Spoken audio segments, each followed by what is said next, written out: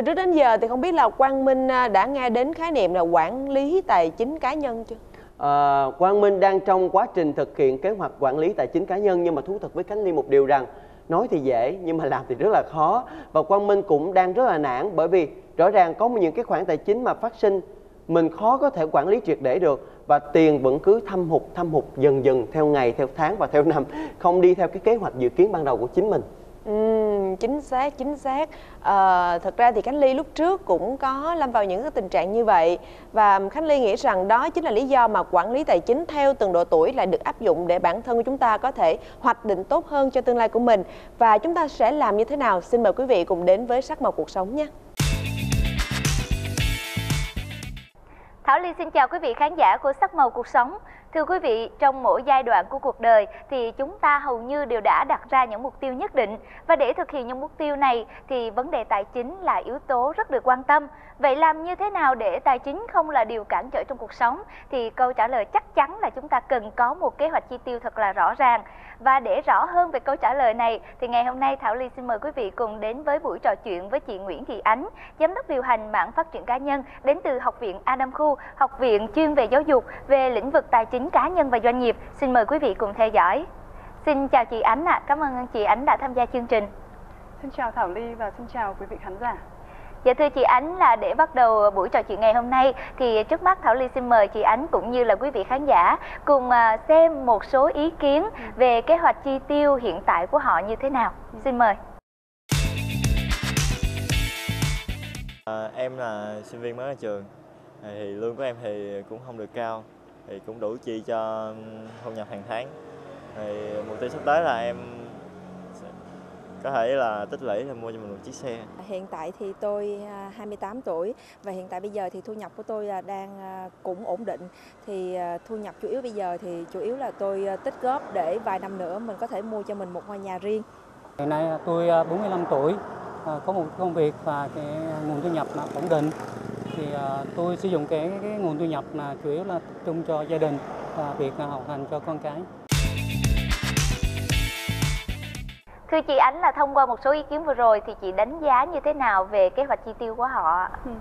À, mình thì mình thấy là ờ, mỗi một người và mỗi một độ tuổi sẽ có cái nhu cầu cũng như có những kế hoạch khác nhau và um, để mà có thể đánh giá được cái kế hoạch chi tiêu của một người hay là cái kế hoạch tài chính của một người có phù hợp hay không thì chúng ta cần phải nhìn thấy cái kế hoạch đó nó liên quan như thế nào đến kế hoạch trong cuộc sống của họ giả sử như uh, trong cuộc sống của những bạn trẻ dưới dưới 30 tuổi chẳng hạn thì có những người sẽ có kế hoạch trong cuộc sống là họ muốn học hỏi thật là nhiều để sau này họ xây dựng một sự nghiệp thật là tốt thì cái việc kế hoạch chi tiêu của họ sẽ liên quan tới việc họ đầu tư bao nhiêu thu nhập của họ vào trong việc học tập và phát triển bản thân mình À, nhưng nếu như có những bạn kế hoạch cuộc sống trước 30 của họ là họ phải đi du lịch rất là nhiều nước chẳng hạn thì họ yeah. Dạ. sẽ phân bổ cái nguồn thu nhập của mình vào trong cái kế hoạch đó thì cái để mà mình có thể nhận định được kế hoạch uh, tài chính của một người có phù hợp hay không hay có khoa học hay không thì nó phụ thuộc vào cái kế hoạch cuộc sống của họ là gì nữa. Dạ. Yeah. Yeah. À, nhưng mà thưa chị rõ ràng thì à, trong cuộc đời của mỗi người nó cũng sẽ có những cái mốc à, phát triển khác nhau ừ. à, như là tầm 20 đến 30 ừ. thì chúng ừ. ta lo sự nghiệp nhưng mà 30 trở lên thì hầu như ai cũng có gia đình rồi. À, rồi à, đến 40 tuổi thì à, hầu như người ta sẽ nghĩ đến những cái việc khác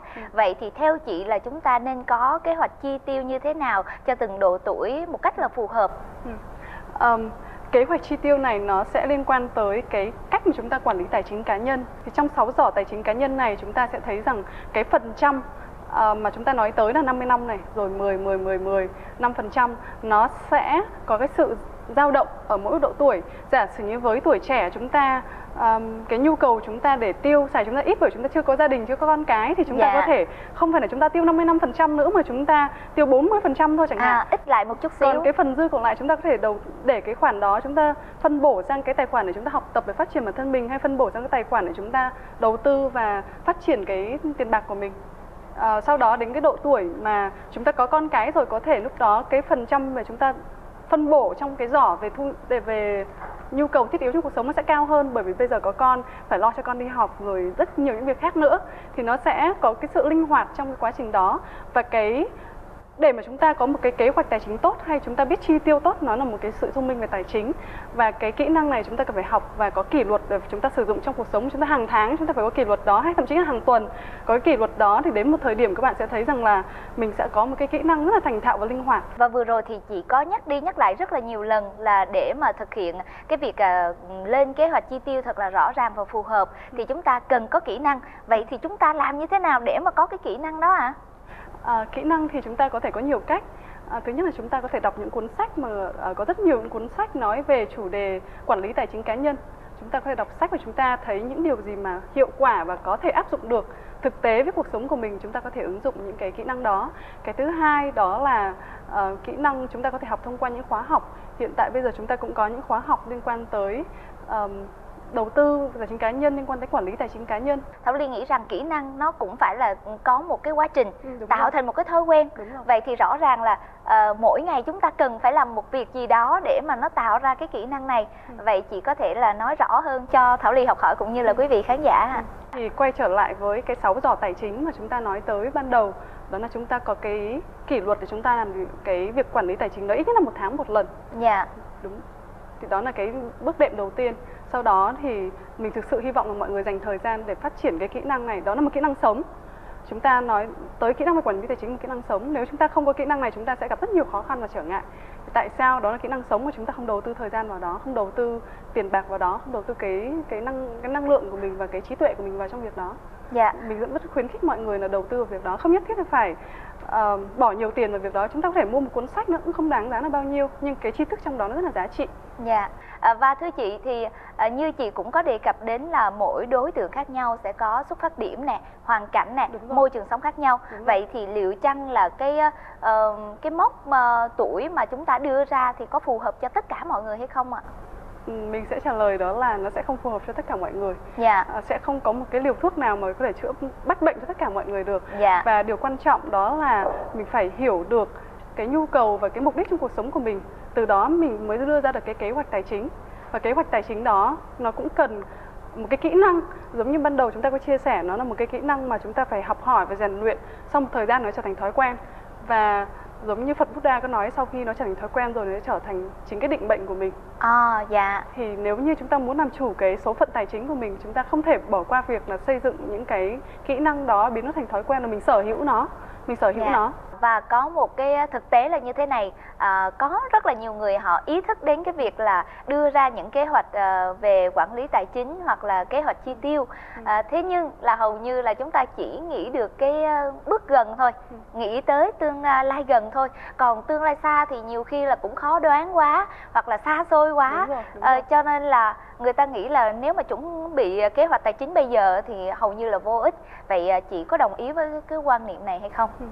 À, mình thì mình sẽ không đồng ý với quan niệm đó à, đúng là chúng ta không thể biết được tương lai chúng ta không thể dự đoán được điều gì sẽ xảy ra nhất là tương lai xa đúng không năm mười dạ. năm nữa chúng ta không biết được tuy nhiên chúng ta cần phải có kế hoạch để trong trường hợp chúng ta cần sử dụng yeah. Dạ. cái một cái nguồn tài chính nào đó cho những việc khẩn cấp hoặc là những cái việc mà chúng ta về dài hạn giả sử chúng ta muốn mua nhà thì nó một cái kế hoạch rất là dài hạn yeah. Dạ. thì chúng ta cần phải có kế hoạch để làm được việc đó um, ban đầu chúng ta cũng nói tới chủ đề là có một số những điều um, mà đến lúc đó chúng ta mới làm thì đã quá trễ rồi giả sử như bảo hiểm ban đầu có nói tới đó là bảo hiểm khi mà chúng ta trẻ chúng ta không cần nó thì chúng ta lại không mua nó nhưng đến khi chúng ta già hơn hay có bệnh tật rồi đúng chúng ta rất cần nó chúng ta mua nó cũng không được bởi vì lúc đó sẽ không có cái, cái cơ hội chúng ta mua nó nữa chúng ta không thể quay trở về quá khứ nữa thì kế hoạch tài chính cũng thế có những điều chúng ta cần phải nhìn thấy từ rất là xa à, và đôi khi trong cuộc sống có những rủi ro không nhất thiết là chúng ta phải dành toàn bộ cái tài nguyên của mình để đề phòng những việc như vậy nhưng chúng ta có thể phân bổ một cái nguồn tài nguyên 10 20% thu nhập của mình vào một cái quỹ để đề phòng cho cái việc ờ, về tương lai hoặc chúng ta lập những kế hoạch về dài hạn. Dạ, à, rõ ràng là ai cũng có mục tiêu à, nhưng mà với những người mà có mục tiêu rất là rõ ràng, ừ. chẳng hạn là chi tiết cho từng uh, giai đoạn khác nhau, mục tiêu ngắn hạn, mục tiêu dài hạn à, thì có lợi ích gì so với những người mà có mục tiêu rất là chung chung ạ? À? Có một bí mật chia sẻ với Thảo Ly như thế này, những người nào đặt mục tiêu thì họ sẽ chắc chắn sẽ thành công hơn rất nhiều. Dạ. À, chúng ta chưa trao đổi tới việc là có đạt được mục tiêu hay không nhưng họ sẽ thành công hơn rất nhiều và cái điều này được nghiên cứu và được chứng minh bằng khoa học. Dạ. Ờ, một nghiên cứu của đại học Yale ờ, ở bên Mỹ, đây là một trong những trường đại học đầu của Mỹ. Họ nghiên cứu ờ, một nhóm sinh viên chuẩn bị ra trường và họ sẽ hỏi xem là bạn có những cái mục tiêu ngắn hạn, dài hạn và cụ thể mục tiêu của bạn là gì trong vòng 5, 10, 20 năm nữa trong cuộc sống của bạn hay không. Thì sau 20 năm, sau 20 năm thì cái nhóm sinh viên đó người ta quay trở lại nghiên cứu với nhóm sinh viên đó và kiểm tra kết quả của họ xem bây giờ họ đang ở đâu. Thì một cái nghiên cứu cho thấy rằng chỉ có 3% những cái người sinh viên chuẩn bị ra trường đó có đặt mục tiêu cụ thể trong cuộc sống của mình. 97% còn lại hoặc là không có mục tiêu hoặc là mục tiêu rất là chung chung. Dạ. Nhưng 20 năm sau thì điều gì xảy ra Thảo Ly có biết không? 20 năm sau thu nhập của 3% những người đặt mục tiêu tổng cộng lại nhiều hơn so với thu nhập của 97% những người không Trời đặt mục tiêu. ơi, Đấy là một- một, nghiên cứu một đã con số rất là đáng nể ạ.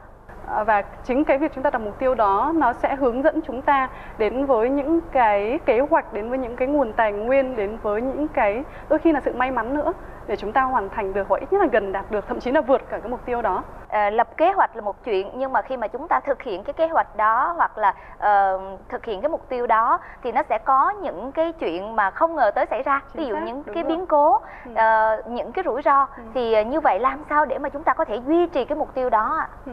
À, Thảo Ly nói rất là hay, câu hỏi rất là hay ở chỗ là trong cuộc sống. Khi chúng ta đặt mục tiêu sẽ chắc chắn sẽ có những điều xảy ra khiến cho chúng ta xa rời mục tiêu đó hoặc là chúng ta đi lệch khỏi mục tiêu đó hoặc là chúng ta không đạt được và chúng ta rất nhiều lần chúng ta cố gắng cố gắng cố gắng nỗ lực nhưng mà vẫn không đạt được nó. Thì điều này nó đòi hỏi chúng ta có một cái sự linh hoạt trong cuộc sống. Nhưng mà thầy Adam Khu tôi hay kể tôi nghe câu chuyện này đó câu chuyện về người phi công lái máy bay. Dạ. Đó là à, một cái máy bay khi mà nó bắt đầu hành trình thì nó sẽ xác định hành trình ở ví dụ như từ Việt Nam bay đến New York chẳng hạn từ Dạ. Sài Gòn bay đến New York thì nó xác định hành trình đó. Nhưng mọi người nghĩ rằng à cái chuyến bay cái bay, bay máy bay sẽ bay thẳng theo cái đường bay đó. Không phải như vậy.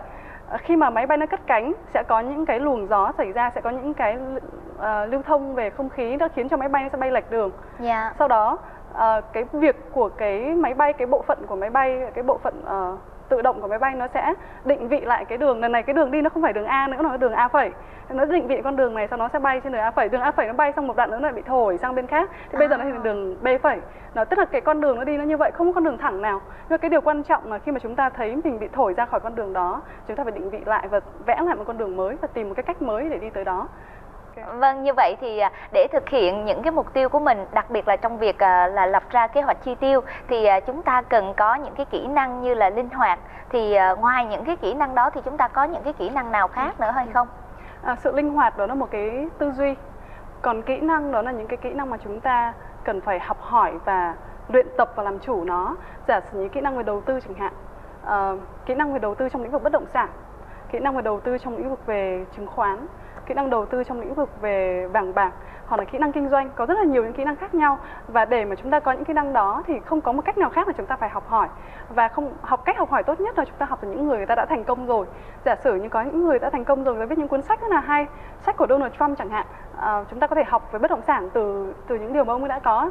Cái này chúng tôi gọi là ngồi trên vai của người khổng lồ nếu mà chúng ta tự mò mẫm, tự đi, tự mắc sai lầm thì chúng ta sẽ thấy rằng quãng đường rất là dài và rất nhiều trở ngại. Tuy nhiên, nếu chúng ta biết học hỏi từ những người giỏi nhất, những người đã thành công rồi, họ có những cái công thức, họ những cái bí mật và chúng ta áp dụng những điều đó vào trong cuộc sống của chúng ta, thì đó là cái việc sẽ giúp cho chúng ta đạt được mục tiêu của mình mặc dù có những trở ngại trong cuộc sống. Và học hỏi đối với triết lý của chúng tôi đó là không bao giờ ngừng lại việc học hỏi Và rất là cảm ơn những lời chia sẻ hết sức là thiết thực của chị Nguyễn Thị Ánh ạ. Cảm ơn chị đã tham gia chương trình và Thảo Ly cũng xin chúc cho chị cũng như là công việc của chị ngày càng phát triển và ngày càng giúp ích hơn nữa cho rất là nhiều bạn trẻ, à, những bạn mà đang loay hoay không biết là mình phải lập à, chi tiêu như thế nào thì ngày hôm nay đã có những cái bài học bổ ích. Xin cảm ơn chị.